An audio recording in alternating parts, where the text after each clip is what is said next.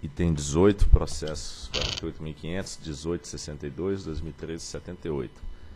Pedido de concessão de medida cautelar de interesse da Companhia de Geração Térmica de Energia Elétrica, visando o afastamento da aplicação da cláusula 14 dos contratos de comercialização de energia do ambiente regulado celebrados em decorrência do primeiro leilão de energia nova. Diretor relator, doutor André Peptoni, informo que há pedido de sustentação oral. Informo aos senhores diretores que utilize o arquivo da pasta atualização, por favor.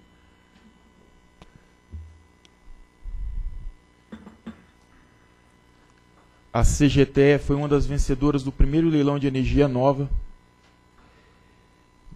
do edital 2/2005, realizado em 16 de dezembro de 2005, no qual comercializou energia elétrica produzida pela fase C da usina termoelétrica Candiota 3. A ampliação da UTE Candiota 3 havia sido autorizada por meio da portaria 181 de 17 de julho de 2006 do Ministério de Minas e Energia. Em 11 de março de 2013, a CGTE protocolizou o recurso administrativo inominado, no qual, dentre outros pedidos, requereu a suspensão cautelar dos efeitos da cláusula 14 dos CCARs nos 31 contratos celebrados pela recorrente no primeiro leilão de energia nova, bem como a declaração de sua a, bem como a declaração de sua nulidade por onerosidade excessiva, com a devolução ou a compensação dos valores despendidos em razão de sua aplicação. Pelo despacho 841 de março de 2013, o diretor-geral da ANEL resolveu não conceder o efeito suspensivo requerido, determinando a imediata distribuição do feito para deliberação da matéria pela diretoria colegiada os autos em 25 de março de 2013, distribuídos por sorteio ao relator. E inconformada com a decisão que não conheceu o efeito suspensivo requerido, a CGTE, em 22 de abril de 2013, apresentou pedido de reconsideração em face do despacho 841 de 2013. O pedido de reconsideração ainda não foi objeto de análise por parte de nenhum dos diretores da agência. Não obstante, por meio do ofício 70 de 2013, a Secretaria-Geral da ANEL informou a recorrente que não cabe recurso face essa decisão, conforme disposto na resolução ANEL 273/2007, que determina o rito relativo à análise do efeito suspensivo.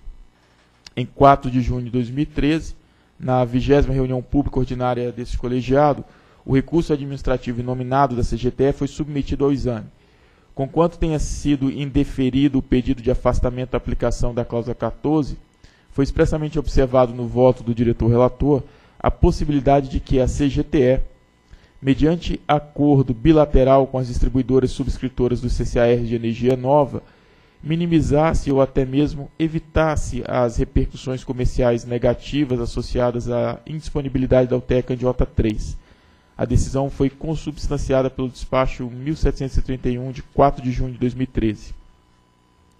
Verifica-se, senhores diretores, que em 10 de setembro de 2013 a CGTE protocolizou petição na qual apresentou novo pedido de efeito suspensivo da cláusula 14 do CCAR celebrados em decorrência do primeiro leilão de, de energia nova de 2005, até que fossem deliberados, agora é o fato novo, os pedidos de alteração bilateral dos contratos já protocolizados na ANEL, conforme possibilidade suscitada no voto e aqui no, na aprovação do colegiado. Ou seja, o colegiado facultou a empresa a buscar redução de seus CCARs junto ao universo de 31 distribuidoras.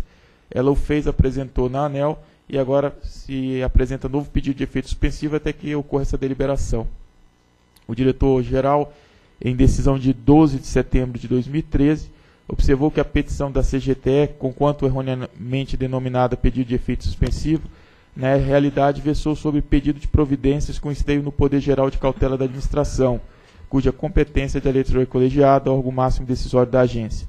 E essa decisão foi publicada pelo despacho 3135 de mesma data. E em 16 de setembro de 2013 fui designado por sorteio como relator da matéria, é o relatório.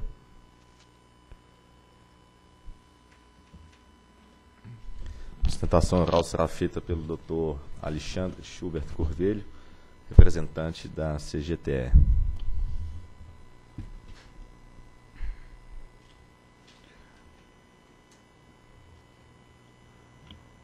Bom dia, então, senhores diretores, doutor, uh, relator, doutor André. Uh, eu vou pontuar algumas questões, uh, prometo ser breve na sustentação, e vou iniciar, sobretudo no ponto em que o diretor André mencionou que no julgamento do processo originário, em que se discutia justamente a questão de aplicabilidade ou não da cláusula 14 do CCARs, naquele voto proferido, então, no, no voto de relatoria do Dr. Julião, no item 2.3 do voto, uh, se pontuou então a possibilidade de acordo bilateral uh, do CCARs, ou seja, aquela utilização da resolução 508/2012. Uh, naquele momento do, do, do, julgamento, houve debate pela diretoria e aquele debate e, e, consequentemente, o resultado daquele julgamento partiu de duas premissas. Né? A primeira premissa de que, uh, de que uh, de um lado, se não fosse possível, então, naquele momento, afastar a cláusula 14 uh, ah, em função de um contexto que seria, então, a previsibilidade da cláusula, não dos seus efeitos, mas da cláusula pelo agente na oportunidade do leilão, não seria possível por parte, então, uh, da ANEEL negar que, que os efeitos da cláusula terminavam por inviabilizar o próprio uh, empreendimento. Né? Então, a agência, dentro de uma das competências uh, que são reconhecidas, né, fez uma, uma tarefa que também é tão importante quanto a tarefa de julgamento, que foi uma tarefa de orientação. Naquele julgamento, então, Uh, e constou isso expressamente do voto, foi feita aquela orientação né, de que um, uma das possibilidades de uh, amenizar aqueles efeitos seria seguir o rito da Resolução 508. Uh, nesse ponto, eu gostaria de, de, de, sublinhar uma questão que, que é importante, uma questão de procedimento, não de processo propriamente.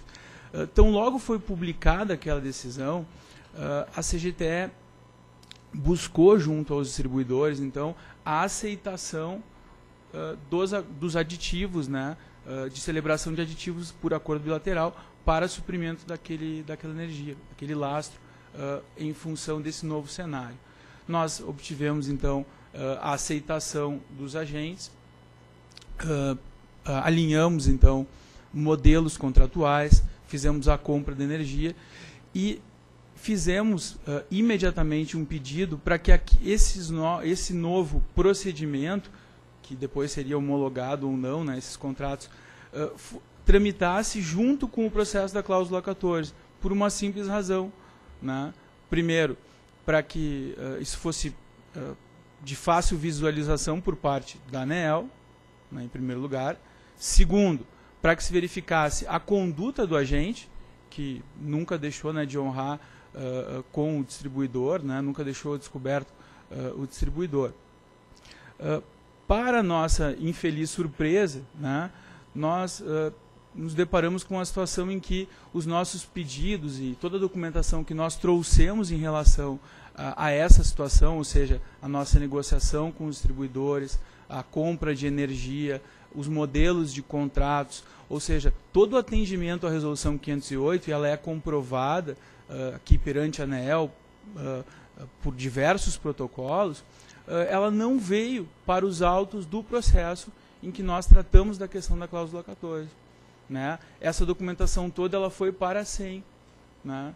E, e, e, portanto, até, de certo modo, acho que até poderia ter prejudicado a avaliação aqui do processo né?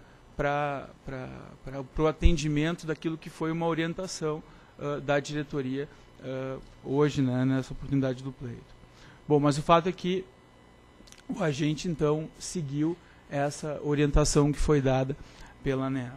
Bom, qual é o cenário uh, hoje da fase 3 uh, ah, de Candiota? Então nós fizemos aquela compra de energia, que era uma coisa indispensável para que se mitigasse ou para que se pudesse então visualizar no futuro a mitigação desses efeitos da cláusula 14, que como foi dito naquela oportunidade, inclusive constou do voto uh, do relator doutor Julião na época.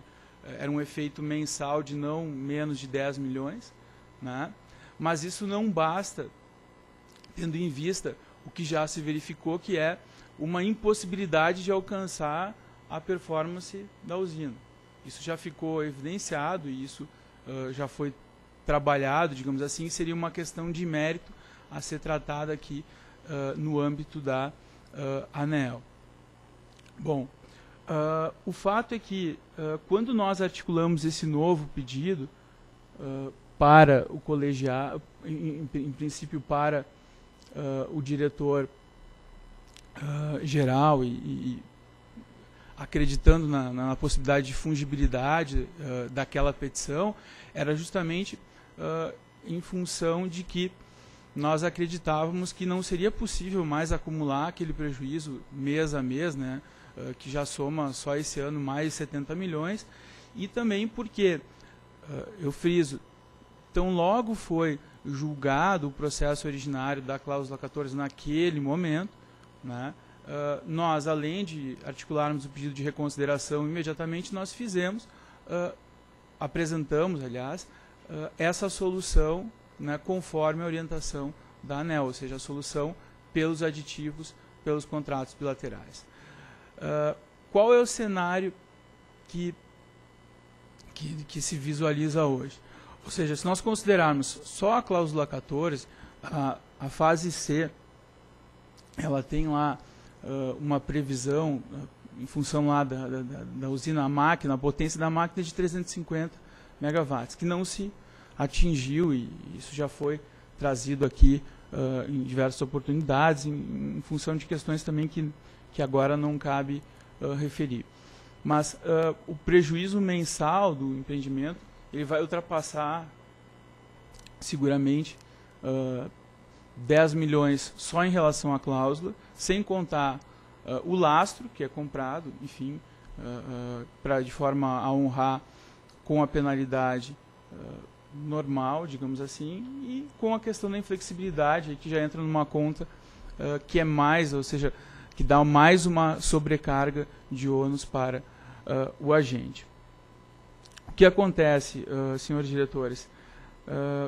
hoje, o, nós temos, além da, do pedido da medida cautelar da causa 14, nós já esgotamos, digamos assim, a nossa participação no que diz respeito a possibilidade de celebrar os, os contratos, os aditivos contratuais pela, pela 508, e uh, o agente teme que aqueles distribuidores que há quatro meses atrás uh, aceitaram o pedido de, de, de aditivo contratual, daqui a 30 dias, daqui a 60 dias, não mais mantenham aquela disposição de celebrar aqueles ajustes. Né? Como os senhores sabem, uh, eles aceitavam aquela condição num passado né, recente sobre, algum, sobre uma condição contratual que era para eles naquele, naquela oportunidade uh, oportuna e pode daqui a um mês ou daqui a dois meses não ser mais uh, tão oportuna ou tão atrativa do ponto de vista negocial. E nós estamos sujeitos a essa possibilidade.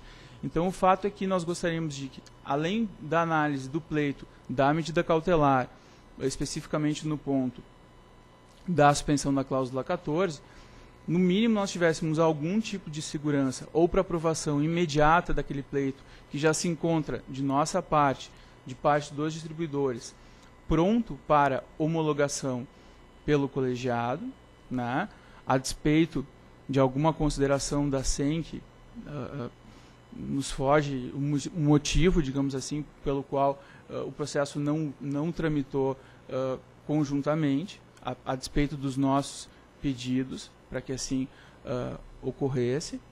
Né?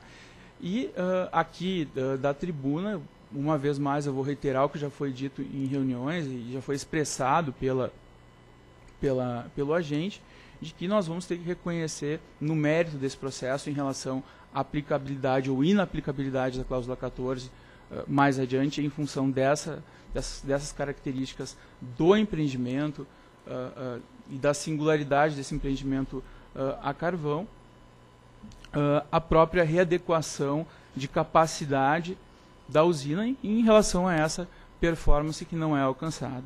Né? Hoje a gente tem lá uma, uma questão de energia assegurada que é concretamente diferente do que se previa inicialmente. uma garantia física que uh, concretamente não é a, energia, a, a, garantia física que inicialmente se previa uh, alcançar e, e, se contratou, inclusive, entendendo que seria a garantia física que poderia honrar com esse empreendimento.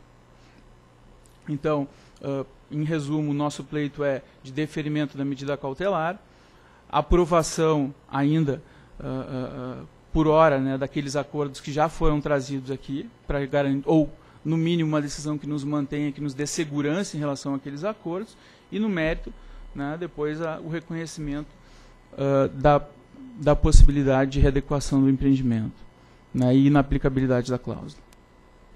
É o pedido. Obrigado, Procuradoria. Aqui trata-se de um um pedido de medida cautelar. E antes de mais nada, preciso deixar claro que de fato são processos diferentes e conduções diferentes a, apreciação dos, da alteração dos, dos contratos bilaterais firmados entre o agente e as distribuidoras e a questão da aplicação da cláusula 14, que já foi inclusive objeto de deliberação pela diretoria. É, e também aqui a decisão agora é exclusivamente em relação a isso que foi chamado em efeito suspensivo até a deliberação dos contratos bilaterais, mas como bem apontado na, na decisão do diretor-geral, se trata na verdade não de um efeito suspensivo, mas sim de uma providência do âmbito do Poder Geral de Cautela. Então o que se coloca aqui a diretoria examinar é esse pedido até a deliberação quanto à alteração dos contratos bilaterais e sob esses contornos do poder geral de cautela. Bom, o poder geral de cautela, colocado na lei, 89, na, na lei 9784 e de alguma maneira inspirado no Código de Processo Civil, tem deles os mesmos requisitos. Essencialmente o que se verifica aqui é primeiro se há um risco de um prejuízo imediato, um dano irreparável que tornaria uma decisão futura inútil ou que de alguma maneira não pudesse mitigar os prejuízos que eventualmente causasse. E também a plausibilidade do direito, não exatamente a certeza, a convicção do direito, mas o mínimo de, de plausibilidade. E verifica que esses, esses requisitos estão presentes, então a questão do, da concessão da cautelar passa a ser uma, uma matéria de discricionalidade da diretoria colegiada. Trata-se do exame de pedido de conversão de medida cautelar apresentado pela CGTE, visando ao afastamento da aplicação da cláusula 14 dos contratos de comercialização de energia elétrica no ambiente regulado, celebrados em decorrência do primeiro leilão de energia nova, realizado em 2005. Como fundamentos do pedido cautelar apresentado, a requerente argumentou que a diretoria colegiada teria entendido como grave a situação econômica gerada pela incidência da causa 14 nos CCARs daqueles primeiros leilões realizados. A diretoria colegiada teria considerado possível, observado algumas condicionantes, aditar bilateralmente os CCARs de forma a neutralizar os efeitos da cláusula 14. A CGTE teria negociado com as respectivas distribuidoras a alteração bilateral dos CCARs e solicitado sua aprovação pela agência, embora passado mais de 60 dias do pleito, a, a Superintendência de Mercado ainda não tivesse concluído sua análise, o processo ainda não distribuído a relator, portanto, sem haver sequer previsão de decisão da matéria. E que a contabilização mensal das operações da CCE imporia a requerente, em 11 de setembro de 2013, novo prejuízo mensal que já acumularia 70 milhões de reais, foi dito da tribuna. Em 14 de maio de 2013, quando do voto por mim proferido nos autos do processo 48.500.000.705.2013-45, no qual foi examinado o pedido de medida cautelar apresentado pela Enercasa, Energia Kaiowá S.A., analisaram-se os requisitos e a competência para o exercício do poder geral de cautela no âmbito da ANEL. Destacou-se que, conforme observado pela Procuradoria-Geral da Agência, no parecer 756 de 2011, a competência para decidir a respeito de medidas cautelares é da diretoria colegiada. Verifica-se que o recurso administrativo inominado, protocolizado pela CGTE em 11 de março de 2013, versou na realidade sobre pedido de natureza cautelar e não mero efeito suspensivo do recurso. A não concessão do efeito suspensivo por meio do ofício 841 acabou por motivar a interposição do recurso pela interessada. A contestação da CGTE, ainda que evidentemente inadmissível em face da decisão relativa a efeito suspensivo, seloia contra a decisão tomada em única instância pela diretoria colegiada ao examinar a medida cautelar. Acresce-se que o recurso sequer foi examinado e respondido por qualquer um dos diretores da agência. Apesar disso, o mérito do pedido de afastamento da cláusula 14 dos CCARs foi examinado pela diretoria colegiada em 4 de junho de 2013 e decidido pelo despacho 1731 de 2013. A CGTE protocolizou em 10 de setembro de 2013 novo pedido de providência cautelar, o fato foi observado no voto que fundamentou o despacho 3.135 de 2013 do diretor-geral. Esse entendeu que, conquanto não tivesse competência para o exame monocrático de cautelares, a admissibilidade do pedido cautelar ao colegiado depende de ser verificado nesse momento ainda, ainda que per, perfunctoriamente, os pontos que o procurador abordou aqui, a mínima verossimilhança e o fumus, fumus boni iuris ou periculum mora. Tal tarefa configura, todavia, a atribuição do diretor que vier a ser sorteado como relator do pedido cautelar nos termos da Resolução 273-2007. Compete ao diretor relator sorteado, então, avaliar o cabimento e a necessidade da imediata submissão do pedido ao colegiado, podendo ainda determinar as providências de instrução processual que considere adequadas ou necessárias. Essa é a interpretação do artigo 5 da hum, Resolução Normativa 468 de 6 de dezembro de 2011, que trata dos procedimentos gerais referentes às reuniões deliberativas públicas da diretoria. Sobre evidências e perigo na demora. O exame dos autos permite concluir que tanto a verossimilhança das alegações apresentadas, ou seja, a fumaça do bom direito, que aqui para no âmbito da engenharia seria as evidências do, do, do, do, direito do agente. Quanto o fundado receio de dano irreparável ou de difícil reparação, o perigo na demora, encontram-se presentes, o que autoriza o, deferimento da medida cautelar pleiteada. Observe, senhores diretores, que de fato o voto do diretor relator na decisão anterior foi destacada a possibilidade de que, nos termos do artigo 9 da Resolução 508, de 4 de setembro de 2012, observadas certas condições, seja formalizado acordos bilaterais de redução temporária ou permanente de montantes de energia associada a CCAR de energia nova.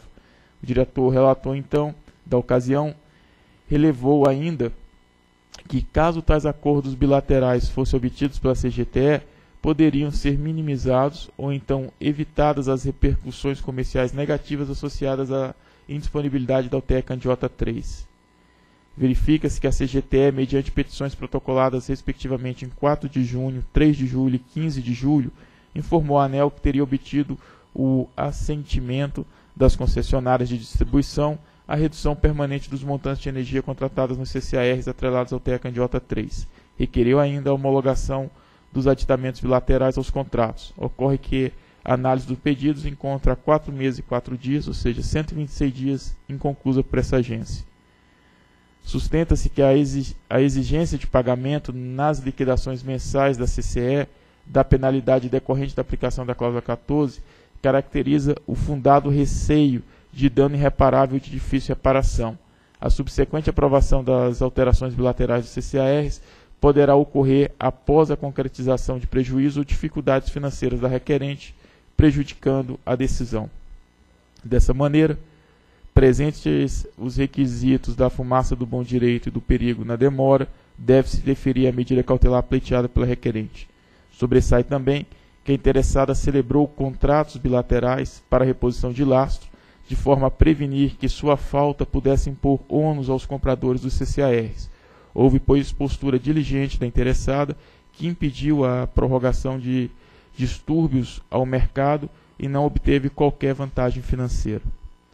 Aqui, senhores diretores, é o caso em que, eh, nessa situação específica, a, a, concessionária, para honrar os compromissos avançados no, no leilão de 2005, diante de uma geração deficiente, ela foi ao mercado e comprou lastro para suportar a diferença entre o compromisso pactuado no leilão e a geração da usina. Então, ela apresenta lastro de tal forma que todos os compromissos com as distribuidoras estão sendo honrados.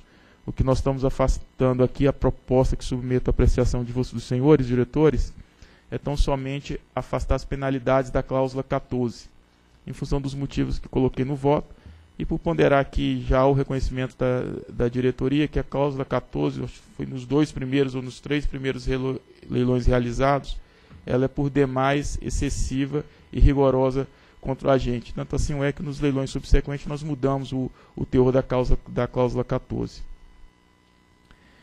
fundado nesse exame nas considerações efetuadas no processo número 48500000705-2013, dígito 45, voto por, sem prejuízo do posterior exame do mérito dos pedidos de homologação da redução, da redução permanente dos contratos, conhecer do pedido de concessão de medida cautelar apresentado pela CGTE e dar-lhe provimento para suspender a aplicação da cláusula 14 dos contratos de comercialização de energia no ambiente regulado, celebrados pela CGTE em decorrência de sua participação no primeiro leilão de energia nova, realizado em 16 de dezembro de 2005.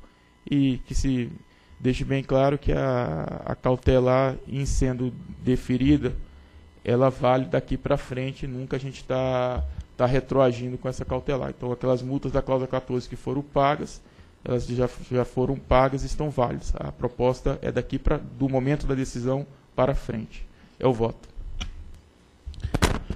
Em discussão. André, quanto a, a cautelar, assim, eu não, eu não, tenho dúvida. Meu problema é mais da, da, daquela proposta de voto do Julião, que a empresa cumpriu, entregou os contratos aqui na ANEL. Pelo que eu entendi, são contratos para substituir o lastro, né? Ou seja, para substituir aquilo que a usina não consegue gerar. É não, isso, né? São dois contratos, Edvaldo. Um é o, é o do lastro, que é para alcançar o montante pactuado, avançado, okay. que a usina não consegue gerar, essa situação está resolvida, que está sendo honrados os compromissos no, na, na CCE. Os contratos a que me refiro aqui seria aquela redução de compra efetivada pela distribuidora, ah. que foi a compra foi okay, distribuída okay. com 31 distribuidoras. A empresa conseguiu reduzir com o universo de algumas distribuidoras a, a avança de tal sorte a concatenar a geração da usina à obrigação comercial. Então, esses contratos que estão aqui em análise na ANEL. Ok, eu ia, ia chegar, na, ou seja, então, o, o, contrato, então, esses de substituir lastro não tem mais problema algum. O não, problema isso. é o, o, o acordo com a distribuidora para reduzir o contrato, que eu acho que é a medida mais definitiva. É o ponto. Que a, se a usina não existe no montante que foi contratado, então reduz o contrato definitivo e autoriza as distribuidoras a, a comprar energia em outro leilão que é o que nós fizemos para outros casos, Uruguaiana, é, é, Cien e outros.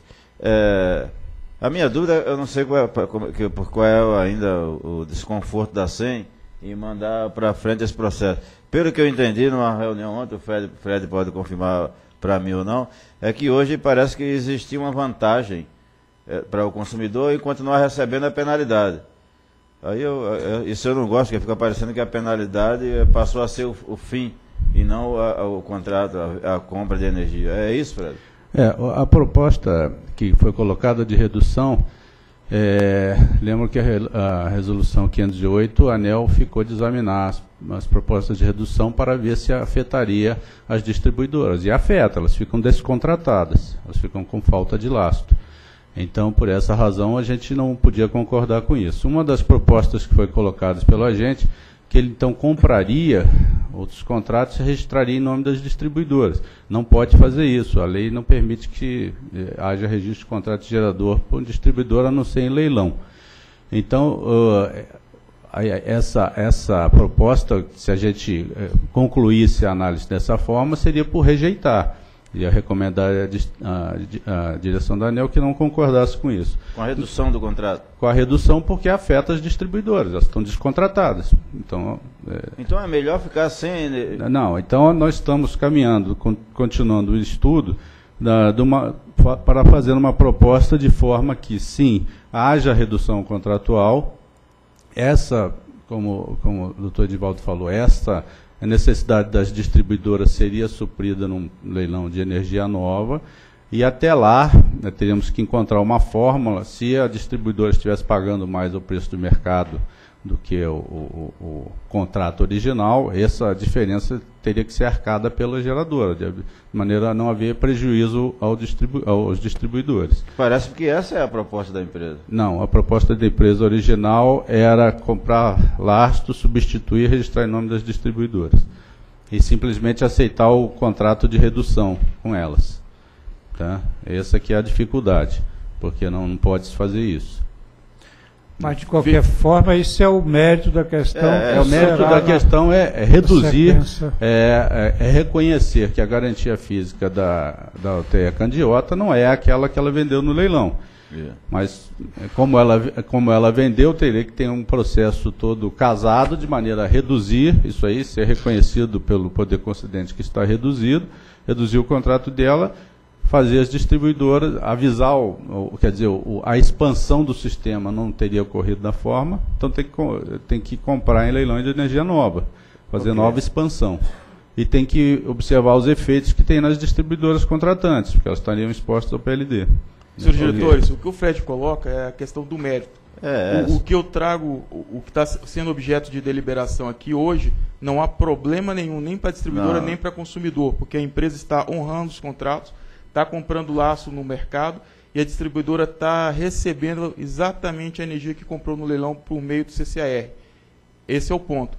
Agora, o que está sendo a, a, aplicado é uma penalidade da cláusula 14 pelo fato da usina da, da CGTE não performar conforme foi presumido no leilão. E que isso, dos efeitos comerciais, conforme até pontuo no último parágrafo de, de meu voto, eles estão todos sanados pela empresa. O que a gente propõe aqui é a suspensão dessa cláusula 14 temporariamente até que se encontre a, a decisão definitiva, que parece que o, o doutor Edivaldo já colocou aqui, que seria adequar o nível de contrato ao nível real de geração da usina. usina. É, o próprio me... empreendedor reconhece que está performando menos e quer alcançar esse valor. Isso será feito, claro, com todo o, o, cuidado que o órgão regulador tem que ter para não imputar prejuízos para os consumidores. Não, ok, André, eu acho que está tá entendido. Eu fiz a pergunta mais porque eu não entendi onde é que o, o, o mérito lá na SEM onde é que estava pegando, porque já, já tinha muito tempo que não analisava. Agora, voltando ao caso específico, você disse que aplica de agora em diante. Aí o de agora em diante a gente tem que precisar mais, porque o, o, o mês que foi contabilizado e não liquidado, acho que é agosto, nós estamos hoje é 8 de outubro, então é uma penalidade, portanto, paga na contabilização de agosto. Ou é o de setembro que ainda não foi contabilizado? Não, então que... me parece que a, a contabilização vai ser essa semana, não é isso, Fred? Isso. Que dia? Então, de agora em diante é a data da liquidação. Ou da, essa é a minha é, essa é A contabilidade de setembro termina ali pelo final do mês de outubro. Não, não é é de ah, setembro, tá? É, setembro termina é. no final de um. É. Bem pontuado, Edivaldo. É, é, é para saber se é agosto ou setembro. contabilidade de setembro. É que está por acontecer na CCS, setembro, não é isso? Então é setembro. É, então eu vou deixar claro aqui para que não, não, ocorra essa dúvida. Isso. É, então, é isso que eu ia também sugerir, né? tanto na decisão como no ato, né? deixar claro a partir de que competência é, vale essa suspensão. Né? Ok. Ok. Então, seria, só para afirmar aqui, então seria a partir da a competência ela valeria a partir da contabilização do mês, do mês. de setembro, que ocorre em outubro. É. Isso, é isso. O mês de competência de setembro que será apurado em outubro, né? OK. Então, em votação. Voto com o relator.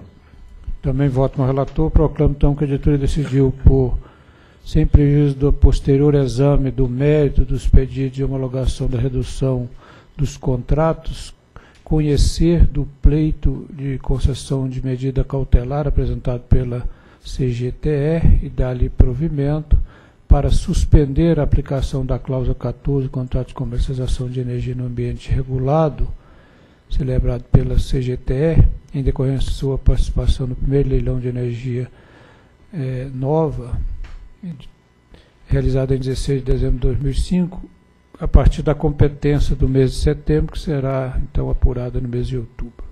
Próximo item.